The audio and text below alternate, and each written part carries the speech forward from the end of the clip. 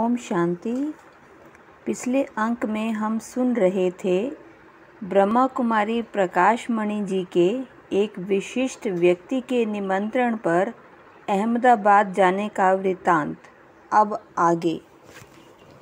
ब्रह्मा कुमारी बहनों ने उस व्यक्ति को यज्ञ प्रसाद भी दिया था और ज्ञान चर्चा द्वारा पवित्रता के लिए प्रेरणा भी दी थी।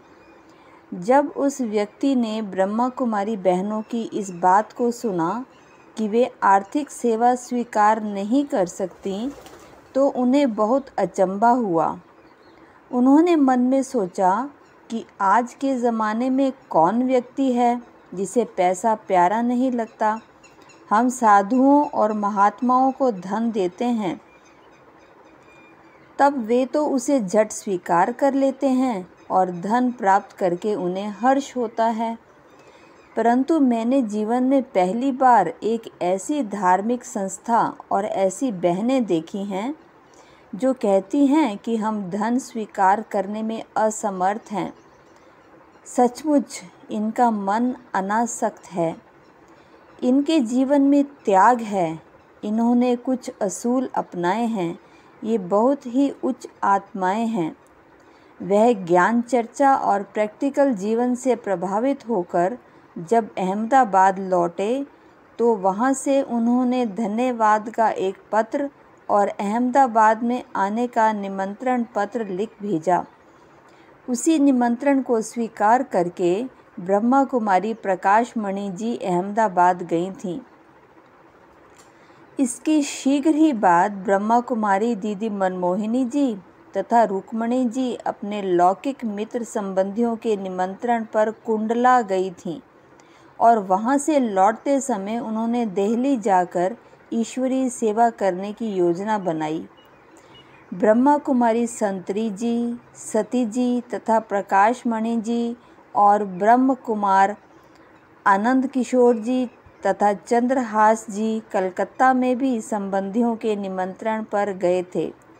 ब्रह्मा कुमारी मनोहर इंदिरा जी तथा गंगा जी को दिल्ली से निमंत्रण मिला था। ब्रह्मा कुमारी कमल सुंदरी जी का पूना में सेवार्थ जाना हुआ था। इस प्रकार कोई यज्ञ वत्स पूर्व में, कोई पश्चिम में तो कोई उत्तर में, कोई दक्षिण में जाकर ईश्वरीय सेवा में तत्पर हो गए थे। चौदह वर्ष ज्ञान यज्ञ के कुंड के भीतर योग तपस्या करने के बाद बाहर लोगों के यहाँ जाने का उनका ये पहला अनुभव बड़ा अजीब सा था। इस बारे में ब्रह्मा कुमारी कमल सुंदरी जी, जो वर्तमान समय मेरठ में ईश्वरीय सेवा पर उपस्थित हैं, लिखती हैं, क्या बताऊँ, सारे कल्प में वर्तमान जीवन एक बहुत ही अजीब जीवन है। मैंने इस जीवन में चार बार जन्म लिया है। एक जन्म तो जैसे सभी का होता है, वैसे ही लिया।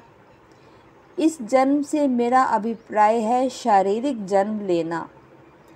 इसके बाद माता पिता ने लालन पालन करके बड़ा किया और फिर विवाह कर दिया। इसे मैं अपना दूसरा जन्म मानती हूँ। क्योंकि कन्या के लिए विवाह एक घर से मरकर दूसरे घर में जन्म लेने के समान होता है। विवाह होने पर उसे एक प्रकार के माता पिता से और मायके वालों से दैहिक नाते तोड़कर, पति से तथा ससुराल वालों से नया नाता जोड़ना होता है। कन्या के समय का अलबेला निश्चिंत, स्वतंत्र और पवित्र जीवन समाप्त करके, अब उसका पराधीन परतंत्र और चिंताओं से भरा जिम्मेवारी का जीवन प्रारंभ होता है, जिसमें उसे कदम कदम पर दूसरों की बातें सुननी पड़ती हैं और सहन तथा त्याग करना पड़ता है। ये दो जन्म तो प्रायः हरेक नारी को इस कलयुग विकारी संसार में लेने ही पड़ते हैं, परंतु मैंने दो जन्म और इनके अलावा भी लिए। आप सोचते होंगे कि वह दो जन्म कौन से थे? जब मैंने ईश्वरीय ज्ञान प्राप्त किया, तब वह मेरा एक नया जन्म था। इसे मैं अपना नया जन्म इसलिए मानती हूँ क्योंकि अब मैंने परमात्मा को पिता के रूप में अपनाया और मीरा की तरह विकारी संसार की रीति रस्म और लोक लाज छोड़ी। अब परमपिता परमात्मा जो सदगुरु के रूप में मिले तो सभी दैहिक नातों को भूलकर उनके मामेकम शरणम ब्रज सर्वाधर्मान परित्रज्य के मंत्र के अनुसार उनसे ही आत्मिक नाता जोड़ना पड़ा। मेरे तो गिरधर गोपाल, दूसरा ना कोई। इस वचन को निभाने के लिए बुद्धि में एक पतिव्रता नारी की तरह उस निराकार परमात्मा ही को मन में बसाया। बाकी इस संसार के विनाशी नाते तथा कर्मों के खाते भुलाने पड़े। आज की कड़ी में बस इतना ही। अगली कड़ी तक ट्रस्टी बनने का अभ्यास पक्का करते रहें। ओम शांति।